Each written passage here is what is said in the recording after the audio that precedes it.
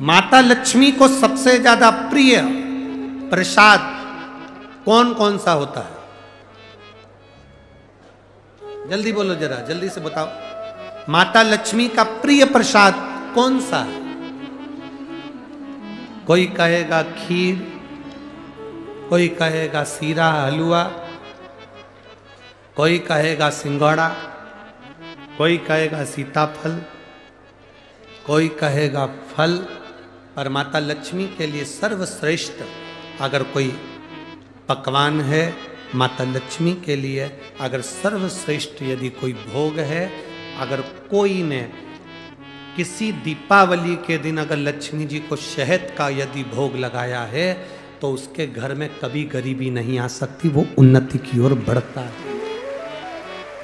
अब दुनिया के लोग क्या करते हैं? दीपावली के दिन पकवान बनाते, गुजिया बनाते, चक्की बनाते, बर्फ़ी बनाते, लड्डू बनाते, बाज़ार से मिठाई लाते, पकवान बनाते, खीर बनाते, हलवा बनाते।